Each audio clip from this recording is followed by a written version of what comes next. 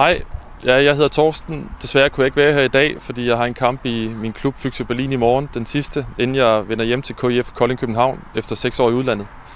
Jeg glæder mig rigtig meget til at komme hjem. Jeg glæder mig rigtig meget til at tørne ud for KIF Kolding København, for jeg tror på, at det her projekt øh, har en god fremtid i møde.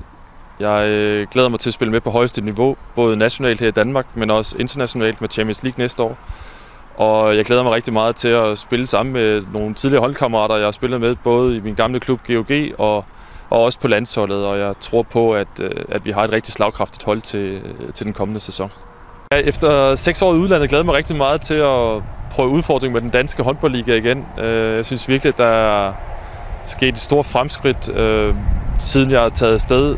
Vi ser hold, der kommer med helt frem i Europa. Vi ser en stor, ekstrem stor bredde, en ekstrem stor konkurrence, og med en masse talenter krydret med, med, med generelt en god håndboldkultur. og glæder mig rigtig meget til at, at prøve kræfter med det igen, og tror også på, at øh, jeg bliver rigeligt udfordret med det spil, der er herhjemme.